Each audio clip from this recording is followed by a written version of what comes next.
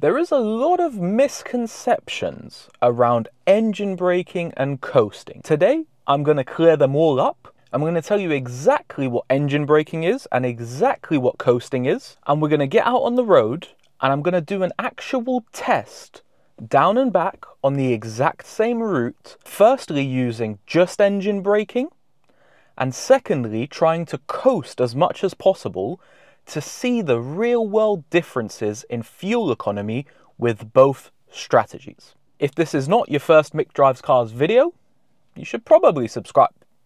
Let's define these first and then we'll get out on the road. So firstly, engine braking. Engine braking is not, I repeat, is not, please do not do this. You will ruin your car.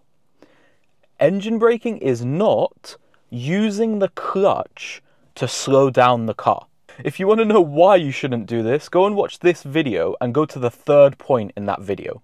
Engine braking is simply being in gear and off the accelerator pedal. When you are engine braking, your engine injects zero fuel. This is different to when you're sitting at idle. When you're sitting at idle, your en engine injects a little bit of fuel to keep the engine ticking over. When your engine braking, and you're in gear, off the throttle, your engine is using no fuel whatsoever because the motion of the wheels turning is physically turning the engine over and pulling a vacuum where there should be fuel. So engine braking is phenomenal because it's essentially free travel. For the longest time, I thought engine braking was the be all and end all. There's a reason I get 26 miles to the gallon in a 500 horsepower car. I engine brake a lot. Coasting, on the other hand, is when you take the engine out of gear and leave it in neutral. There's two ways you can do this. Way number one is by just pressing the clutch in while you're still in gear. This is still technically coasting because you've disengaged the drivetrain. The second way is to actually put the car in neutral. This is also coasting. Now this is tricky because to keep the engine ticking over, the engine now has to inject a tiny bit of fuel, the same as when it's stationary and on an idle. Now, the key to this is when you coast, there is no slowing down of the car. With engine braking, the fact the wheels are driving the engine means you feel a braking force. The more torque your engine has, the more braking force you feel. With coasting, you don't get this. But what that means is you can actually go further because nothing is slowing you down apart from air resistance and friction. So now that you understand the differences, let's get out on the road and do some real world tests to find out which is actually more efficient. And as we go under the bridge, the test begins. I'm gonna try and drive identically in all three tests to give the best example. I'm going to be staying to 70 miles an hour, and the big difference maker is going to be the engine braking and the coasting. That's it. My foot is off the gas. We're engine braking, and as you can see, we're slowing down as we go down the hill. I'm gonna take this to the extreme and I'm gonna let the car slow down all the way to the bottom of the hill. We'll see just how many miles per gallon we pick up during this we're up to 30.5 miles per gallon. Pretty good, pretty good going. So we're just about to crest this hill, and as we do, I'm gonna flick us over into neutral, and we're gonna coast all the way down this hill and see what a difference it makes in the fuel economy. I actually can't wait to find out, because I have a feeling it's gonna be really good. Let's find out. We're in neutral now. Oh, you do still lose some speed. So we seem to have settled at 67 miles an hour. I think that's the balance point between the resistive forces of the air resistance and uh, the weight of the car pushing us down the hill. The hill's got a little bit steeper here. Yep, we've gained a mile an hour. That's that's pretty good. I mean, we engine broke all the way down this hill on the first run, so we've coasted all the way down on the second run. I have never seen 33 miles to the gallon in this car. This is ridiculous. A key thing about this video is I'm doing a down and back for engine braking and the same down and back for coasting. So the elevation will level out to net zero for the video. I'm going to accentuate this a little bit. I'm going to get up to 75 and I'm just going to throw it into neutral and see if this momentum is actually effective. And then we're going to throw it into neutral once again.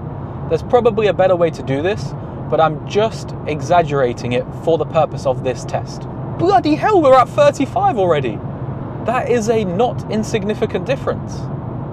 There may be some small differences on the two runs because of air resistance with other cars on the road, but there's no way around this. I mean, I can't I can't make this perfectly scientific. I'm doing the best that I absolutely can. We're once again going downhill. So I'm off the throttle and I'm going to engine brake all the way up to this roundabout. The test will end when I stop at the roundabout because I don't want uh, the lights, the red lights on the roundabout to affect the test. And now we're in coast mode. The hill is just not steep enough to keep this momentum up. We're going to coast all the way down to the traffic lights, just as we did in the first run with engine braking. We're going to see what the final result is. So engine braking down this hill, we're now at 34 miles per gallon. We're still climbing. All right, so that's 34.8 for the first run. 35.3. That is genuinely almost an entire mile per gallon higher. About to start going downhill, so we will get back to our engine braking. I've built up a little bit of speed just as I did on the other run, and I'm gonna lift off to go down this hill. The problem is you lose speed very quickly. So you've got to get back on the throttle again because engine braking fundamentally is slowing you down. One more coast down the hill. I've built up enough speed to even allow me to make an overtake. I'm going to hold that momentum for as long as I can. I mean, I'm still doing 77. It's not slowing down. You cover so much distance when you coast. That was pretty impressive. We went a long way with that coast. And we're going to engine brake all the way down it's slowing us down nicely. I'm just starting to help it with the actual brake.